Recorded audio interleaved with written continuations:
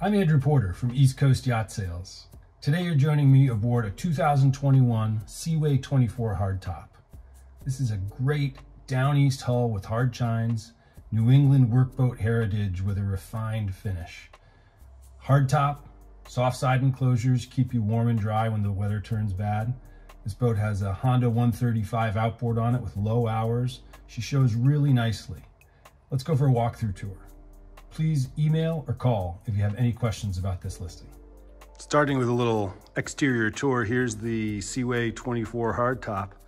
She's tucked into a shed for the winter and the boat's in really nice condition. It's only two seasons old, 2021 boat. Gray top sides, white deck and house. Looking good. The boat also comes with a Load Rite dual axle trailer and uh, that conveys with the sale. Getting around to the back here. Here's the transom. It does have a swim ladder with a step and a retractable swim ladder that drops down. Here's the Honda 135 outboard. This is the more conservative power choice for this boat. Um, still cruising in the 20s, but a little more fuel efficient, a little quieter, and uh, works just right. So let's hop on up. Here we are just stepping into the cockpit of the Seaway. And you'll see two Todd ladderback chairs for the helmsman and the companion. Uh, you also have the seat bases, which have batteries over here to starboard. Two batteries switch, switched separately. And then over here on port in this uh, seat base, you've just got storage for lines and fenders. This is a pretty neat feature on this boat in particular, which is the seat with the wooden back, nice umbrella cushion, and a huge amount of storage for lines, spare anchor, etc.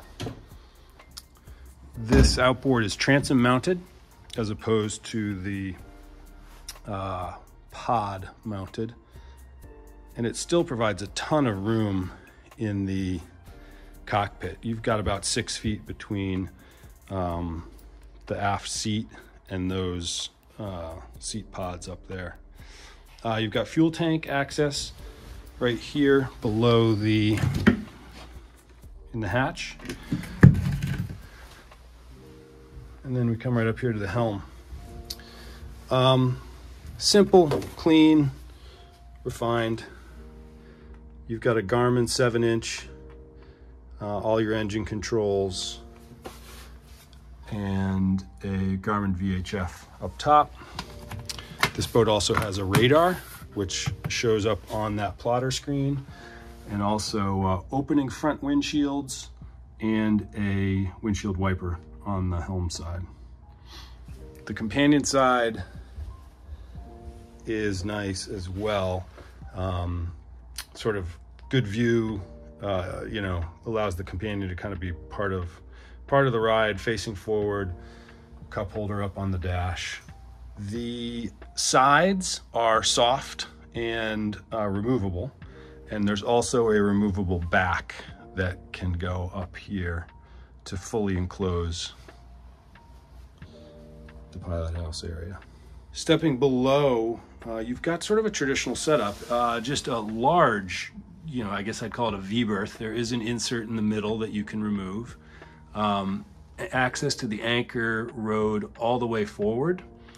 And um, a hanging locker here to starboard.